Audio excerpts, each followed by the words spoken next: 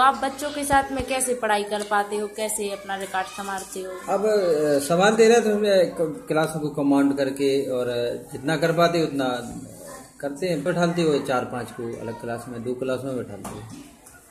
तो आप कैसे कवर करते हो? अब क्या करें कभी इस क्लास में कभी उस क्लास में बीच में सरकारी काम भी देखना पड़ता। है तो कितने टीचर हैं आपके स्कूल में? एक ही टीचर है भी लिखाई करेंगे पढ़ाई करें हाँ, स्कूल में पढ़ाई नहीं हो रही है।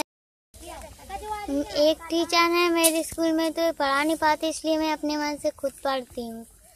आपकी उम्मीद क्या है आगे चल के? हम्म, अगर अच्छी पढ़ाई हो जाएगी तो हम नौकरी करूँगी कुछ बनूँगी अपने मन से। स्कूल में एक टीचर क्यों है? देखिए ऐसे जो है बहुत से विद्यालय हैं हमारे, जो बहुत से एकल चल रहे हैं और मानक के अनुसार टीचर नहीं ये सूचना हमारे यहाँ जो विभागीय स्तर पर जो हमारे यहाँ से बन करके जाती है कार्यालय में। जिसे जिला बेसिक पोस्ट के वैकेंट की सूचना वहाँ पर पूरा है कि हर ब्लॉक में कितने कितने पोस्ट है। मतलब रिक्त चल रहे हैं।